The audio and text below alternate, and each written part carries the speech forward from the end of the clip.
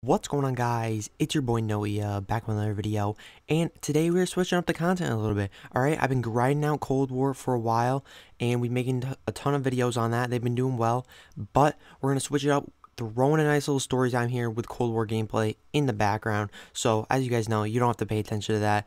Just listen to me and enjoy this story. So let's get right into this. This happened about one year ago um, maybe a little less than one year, maybe 11, 10 months ago, before the shutdown happened my junior year. So, because I'm a senior now. So, last year, I was on my grind, guys, okay? Some of the best races running I've had. So, I was drinking a lot of water. This is just a little backstory, all right? I was very focused on my athletics at this point and I was drinking a ton of water every single day because it's obviously healthier for you to drink a lot of water. So I was drinking about four 24 ounce um bottles of water. All right, this like metal water bottle I have four of them in school a day. So within a seven hour period, that's a lot of water. Three or four of them. So it's a lot of water, just flushing everything out of my system, and it helped me run a lot better too. And I would get in a routine at school with that. So I pee a lot during school. Okay, th- you might not really understand what that's do right now, but you'll understand in a second. So I had to pee a ton during school, all right, and especially at lunch. Okay, so at lunch, I had to pee really, honestly, two times every single day at lunch. So it was kind of sus me going in there at the beginning of the period and towards the end of the period, but my piss was completely clear because I was drinking so much water every day.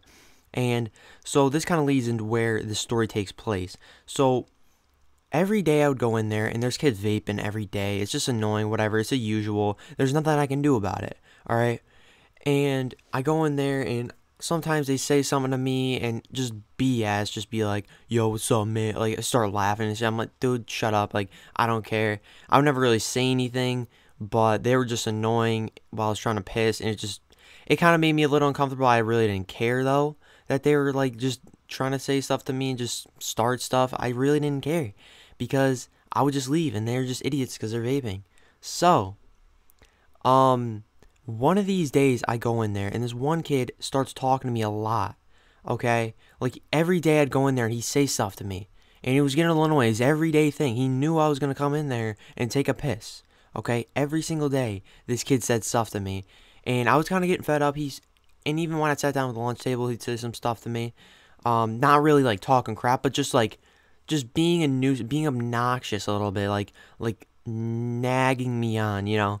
Um, oh, my god, all I could think it was that that ninja clip right there, uh, with the nagging me on. But other than that, um, yeah, so this kid was just like annoying the hell out of me every single day. And finally one day, okay, this was the breaking point for me, dude. I I literally I didn't know what to do. All right, so I'm go I walk in there and I'm going to take the daily piss at the beginning of the period.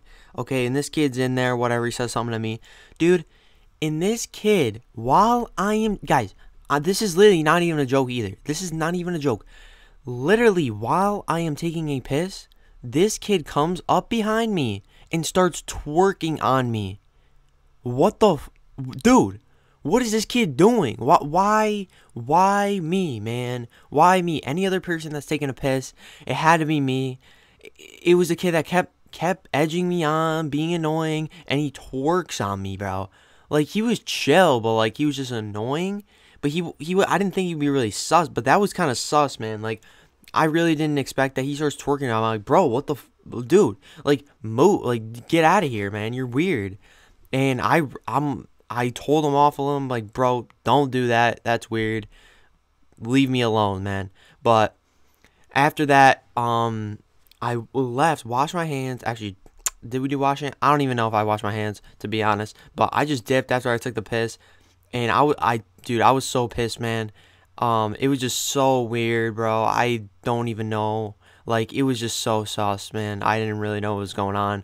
But literally, every time I went in there after that, I'd be like, yo, don't do that again. I'll tell him, like, literally, uh, the next few times I went in there. And then I stopped seeing him in there after that. And then eventually we shut down for coronavirus. But, um, it this was like a thing that happened for like three weeks. He was in there every day saying something to me, and then finally he literally twerked on me. I didn't know what to do. Like I'm like, bro, what the hell are you doing? That was it was just so weird.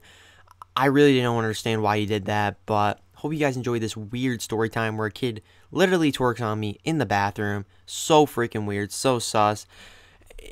I don't know, man. I it was just very weird, kind of funny story. Hope you guys enjoyed. Subscribe. Road to 1K before the end of 2020. Let's do it, boys. Hope you guys enjoyed the video. It's been your boy Noyuh. See you in the next one. Peace. Haters. Nowadays, I'm not fucking with these haters. Told that little bitch, see you later. Can't even count all the times I was hated. I stayed on my grind while you were getting faded.